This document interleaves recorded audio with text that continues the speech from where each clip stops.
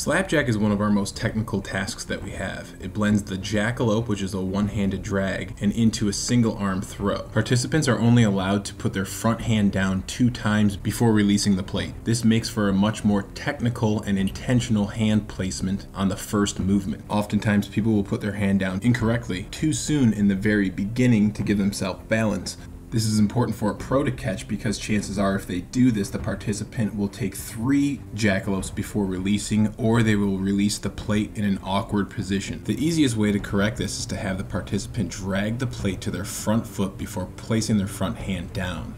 When performed correctly, this will allow them to be in the perfect placement to follow through, stay low, and generate the throw from their legs rather than coming up. Correct form on this task will also help them improve their jackalope and at most requires the participant to do two or three throws.